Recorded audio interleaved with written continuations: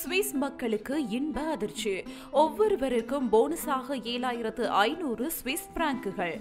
சுவிட்சர்லாந்தில் ஒவ்வொரு பிரஜைக்கும் ஏழாயிரத்து ஐநூறு சுவிஸ் பிராங்குகளை வழங்கும் புதிய வேலை திட்டம் ஒன்றை அந்த நாட்டு அரசாங்கம் முன்வைத்துள்ளது.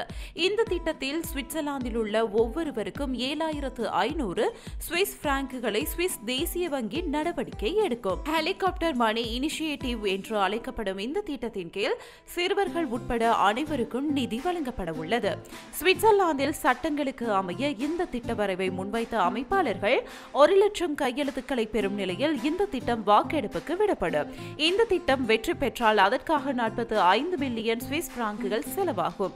போனஸாக வழங்கப்படும் ஏழாயிரத்து ஐநூறு சுவிஸ் பிராங்குகளுக்கு வரிகள் விதிக்கப்பட மாட்டாது என்பது சிறப்பம்சமாகும்.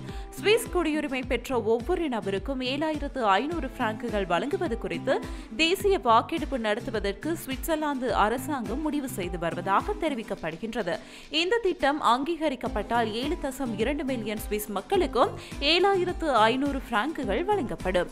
பாதுகாப்பான புகலிடமாக சுவிட்சர்லாந்தின் நட்பெயரை கொரோனா வைரஸ் உயர்த்தியுள்ளது.